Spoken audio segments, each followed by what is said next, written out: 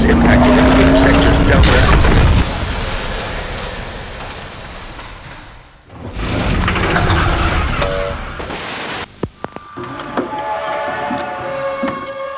Research Training Module 1. While conducting your field research out in the Olympic exclusion zone, you may find conditions unkind to your personal transport unit. Steel and rubber in particular are extremely susceptible to zone conditions. In your toolkit, you have access to the basic equipment you need to maintain your transport.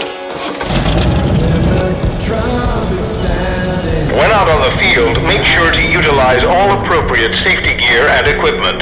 ARDA does not condone petty theft. However, should you find yourself in a life-threatening situation, you may at times borrow from your surroundings.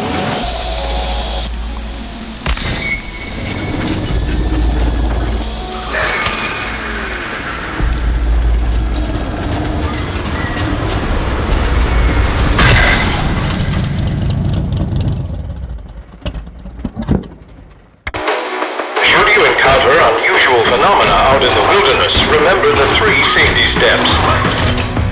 Number one, observe only at a careful distance. Approach only at your own risk. Number two, do not attempt to contain or interact with the phenomena.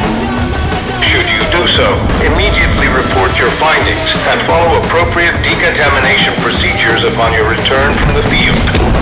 And number three, leave them where you found them.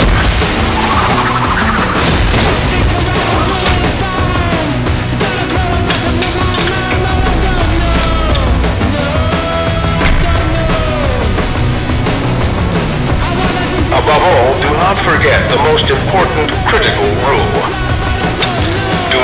Get caught out in the instability.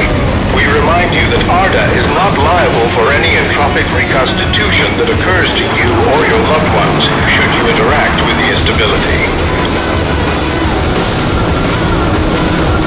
All ARDA personnel are expected to follow strict protocol. Remember, personal methods of creative expression are highly encouraged so long as it does not interfere with official equipment. ARDA is not liable for any injuries or death suffered as a result. That's it for today's training. Happy trails and good luck.